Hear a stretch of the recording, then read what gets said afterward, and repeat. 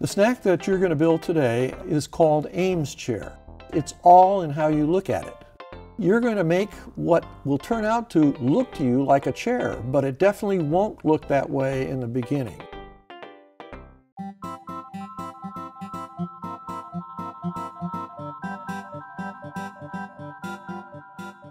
For this snack, you'll need a shoebox, a 2 liter plastic soda bottle, straight sided and colorless, a stapler, masking tape, a white 5x8 index card with at least one plain side without ruled lines, a pen, a ruler, scissors, two brass fasteners, a large rubber eraser, a pushpin, a sewing needle with diameter no larger than the diameter of the pushpin, a length of thin monofilament fishing line, 4 pound test works well, two paper clips, a 3x5 index card, a one-hole paper punch, three chenille stems 12 inches long in a bold color that will contrast with a white background, needle nose pliers, a utility knife or other small sharp knife used for crafts and paper cutting.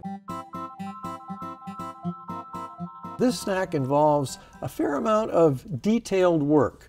And uh, if you think that uh, maybe being a watchmaker would be something you would hate, uh, this might be something for you to reconsider, or you can take it as a challenge and do something that I think will end up being very worthwhile.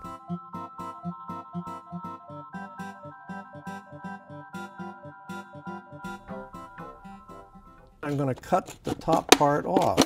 And then I'm going to do the same thing with that bottom. Take this and cut it straight up like that. And I'm just going to draw a three inch square on here. And I'm going to take the scissors and I'm going to cut out that square. I'm going to draw a two inch square on the end of the box and I'm going to center this as closely as I can and now I'm going to cut that square out and I'm going to take the piece of plastic and I'm going to staple it. I've got here a 5 by 8 card and I want to cut this down to the size that will just be the end of the box here. And I'm just going to staple that on there like that. We're going to put these two brass fasteners on the box. One will go about two inches down and two inches in. And I'm going to make a little slit. I'm going to then take the brass fastener, stick it through there, and bend the ends. Let's do the other side now.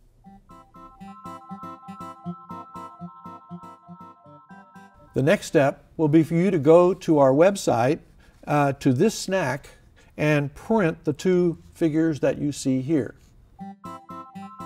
And I'm going to tape one right over this plastic window. And then I'm going to take the larger one and I'm going to center it as best I can. Take a push pin and at each little lettered point on each chair, I'm going to poke a hole through the plastic window on this end and then I'm going to come down to the other end and poke a hole through the cardboard on that end. Now we're going to uh, remove these two little drawings, but keep them close by. We'll need them for references. We're going to tie this paper clip onto the end of the fishing line. And now I'm going to peel off about 15 feet of this line and I'll cut it. Now I'm going to take the line and I've got about four inches between the paper clip and the brass fastener and I'm going to wrap this around several times. That will hold it for us. Now I'm going to thread the fishing line and uh, tie a knot. The next step is to take the needle and use it to thread uh, the line through the box. Uh, through first through a hole in the back of this end of the box and then through a hole in the other end here where the plastic window is. Uh, that's why we need the pictures. So here's the picture right here and I want to study it for capital through hole capital A. So that's right down here on the picture. That's at the bottom of this leg of the chair. And that's right there in the box. So I'm going to go poke the needle through there you can see it coming through now. So there it comes. So now I'm through that. Then I'm going to go through hole small a. Uh, and here's small a on this drawing. And there it is on there on the window. So I will poke it through there. Now before I pull the rest of that line through, I'm going to stick the needle in the eraser here. Uh, and what that will do is keep the needle from getting lost or getting tangled with all of these lines here. So now, once I've got the needle safely poked there, I'm going to use both hands. I can devote my full attention to this to pull the line, all 15 feet of it, through the holes here. And now you see it's tight on the back, so it comes from the brass fastener around the back, through that hole, out the front, and now I'm ready to go on to the next thread. Now I'm going to finish off the threading. So I'm going to take the needle and I'm going to put it in through small b. Then I'm going to put it through capital B. And I'm going to take my needle and this time I'm going to go through hole capital C to hole small c and then small d to capital D, and so on until the end, when I will actually come out hole J at the back here.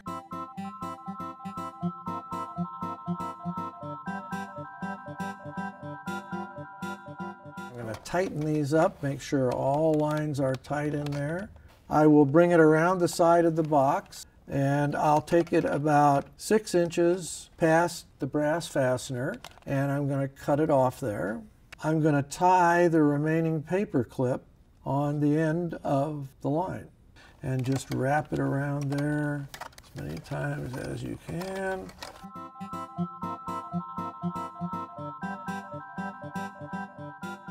All right, now we're going to take chenille stems. Two of them I'm going to cut into three inch pieces. So the, our eight three inch pieces, and then we want six two inch pieces. Uh, now we're going to bend about a quarter of an inch up on each end of one of these things. So there's a little uh, tab on the end. And you can do this uh, either by hand or with the pliers. Sometimes it's easier with the pliers. Sometimes some people find it easier just to do like that. So we're going to do each one of these to make sure it has two ends bent up just like that.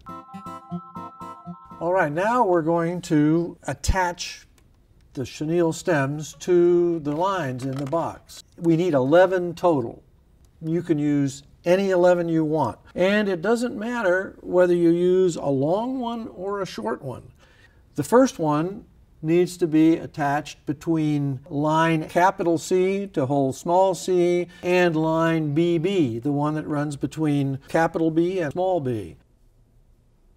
So I am going to try to locate those strings and then I'm going to take one of these and I'm going to put it on there. So I'll get in here and I'll say, okay, there is string C. I want to do this in the back half or this half of the box. I don't want them up close to where I'm going to be looking in the window here. So I'll go here and I'll put this in and I will bend the little tab around the line you can see this again is detailed work. But I do have it on the right line now. And I'll take the pliers, the needle nose pliers, and maybe that will make this a little easier. Uh, I now have to find line B, and there it is. So I will take it and I'll lay the thing on there and fold it over.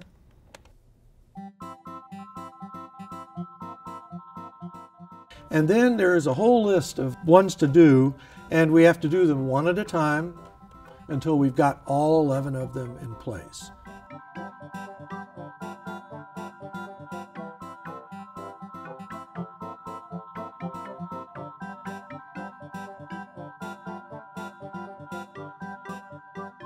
when you get all finished with the tedious task of fastening all of these to a line, uh, you should end up with something like this. It's a kind of a random array of uh, chenille stems in there. Uh, the one you get will not look just like this one. If I did it again, it would not like look exactly like this one. Take three by five card, and we want to punch a hole uh, right in the middle of it. So then I want to center this hole over what we would call the back of the chair. And then I'm going to staple it on. And then we want to bend the card up like this so it forms a viewing window.